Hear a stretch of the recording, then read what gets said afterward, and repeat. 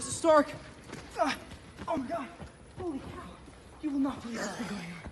Do you remember that we were in space just a minute ago? And then I like vanished and what's all that gray stuff in your hair? It's just gray hair.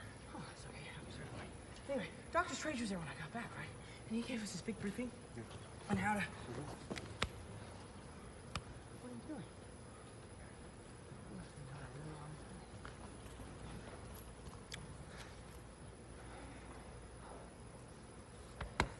Lord.